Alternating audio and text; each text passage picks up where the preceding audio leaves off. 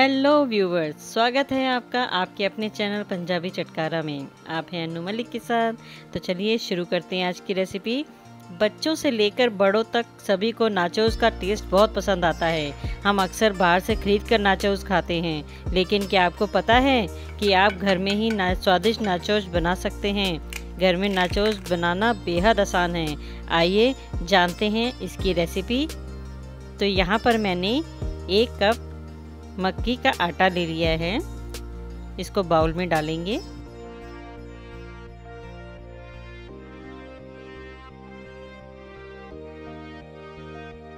और यहाँ पर ले लिया है आधा कप मैदा।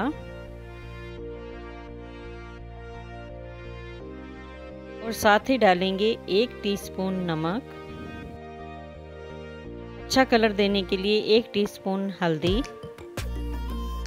थोड़ा सा चटपटा स्वाद देने के लिए चुटकी भर काली मिर्च का पाउडर। अब सभी सामग्री को हम हाथों से मिक्स कर लेंगे। थोड़ा थोड़ा पानी डालते हुए हम इसको सेमी डो तैयार कर लेंगे। ना ज़्यादा सख्त और ना ही ज़्यादा सॉफ्ट।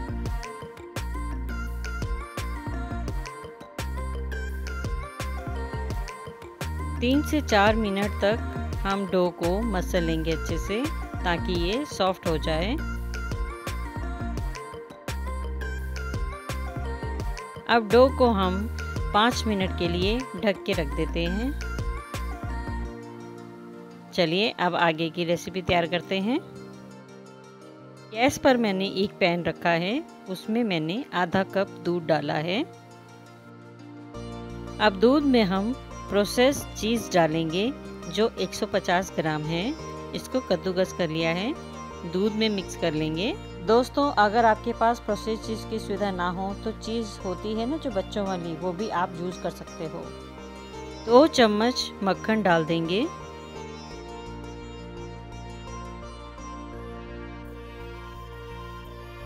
मक्खन डालने के बाद अब इसको लगातार हम चलाते रहेंगे। नमक हम नहीं डालेंगे क्योंकि हमने बटर और चीज़ जो डाली है, उसमें पहले से ही नमक है। अच्छा कलर देने के लिए चुटकी भर हल्दी डालेंगे। मिक्स कर लेंगे अच्छे से।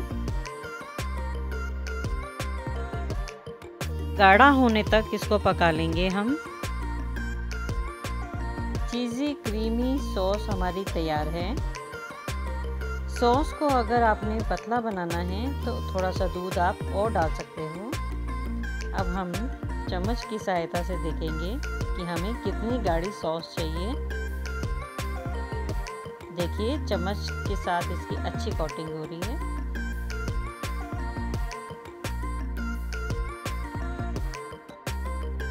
सॉस हमारी तैयार हो चुकी है। गैस बंद कर दें। अब सॉस को हम एक बाउल में निकालेंगे। दोस्तों, यदि आप मेरे चैनल पर नए हैं तो मेरे चैनल को सब्सक्राइब करें और बेल आइकन को भी प्रेस करें, ताकि मेरी आने वाली वीडियो आपके पास सबसे पहले पहुँचे। और लाइक एंड शेयर ज़रूर करें और कमेंट करके मुझे ज़रूर बताएँ कि आज की ये रेसिपी आपको कैसी लगी।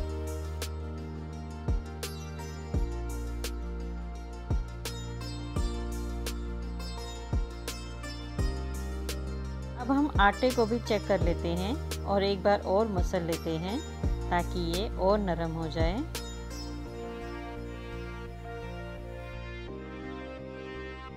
आटे से एक पेड़ा बना लेंगे।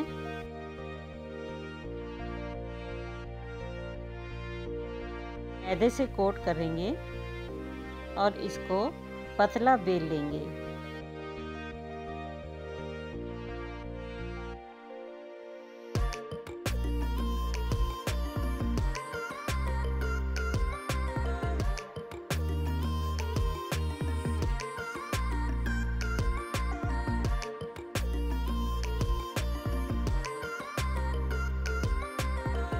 रोटी के चारों किनारे हम काट लेंगे और इसको चकोर का शेप दे देंगे।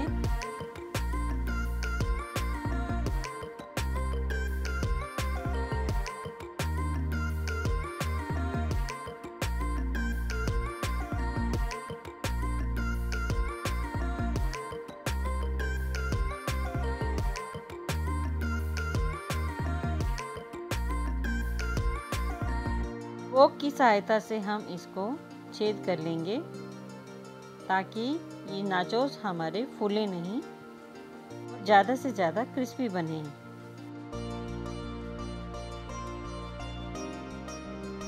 बीच में से काट लेंगे और एक के ऊपर एक रख के तिकोनी शेप दे देंगे।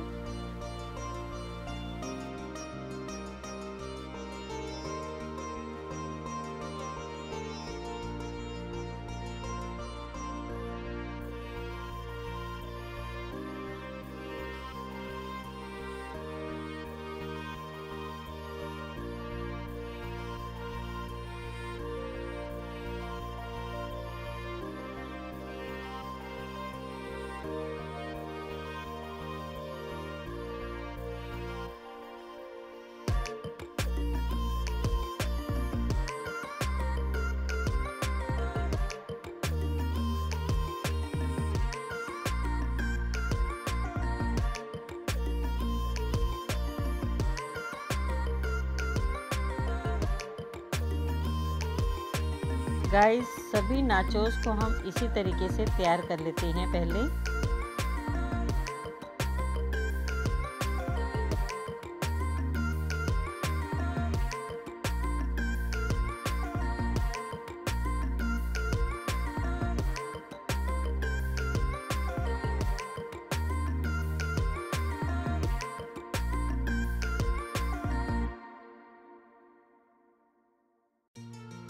ऑयल को सबसे पहले ज़्यादा गर्म कर लेंगे, फिर मीडियम आँच पर हम नाचोस को फ्राई कर लेंगे।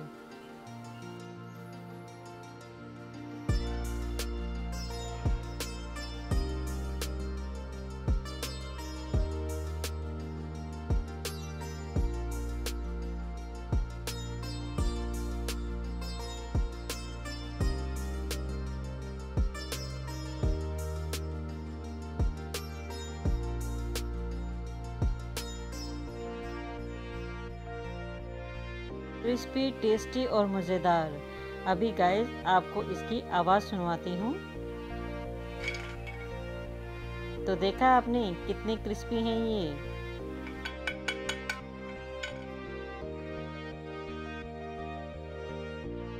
अब हम दूसरा बैच भी तैयार कर लेते हैं।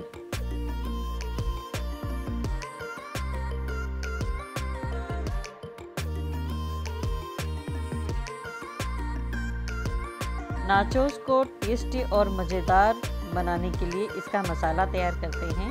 तो यहाँ पर एक कटोरी में मैंने एक बड़ा चम्मच जीरा पाउडर, एक चम्मच धनिया पाउडर, एक चम्मच लाल मिर्च पाउडर, नमक आधा टीस्पून, काला नमक आधा टीस्पून, अमचूर पाउडर आधा टीस्पून ऑरिगेनो आधा टीस्पून और लहसुन का पाउडर आधा टीस्पून।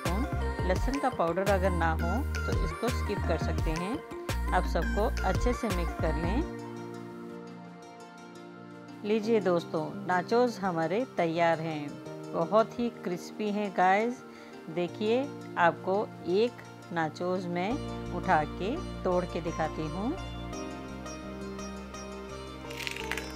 देखा आपने? कितनी अच्छी आवाज़ आ रही है। अब नाचोस को हम बड़े बाउल में डालेंगे।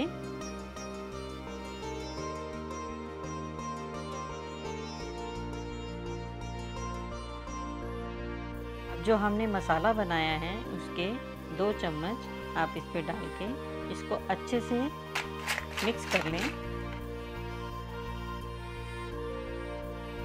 देखा आपने कितनी आसान थी ये रेसिपी। चलिए अब मिलते हैं एक और नई टेस्टी और आसान रेसिपी के साथ। बाय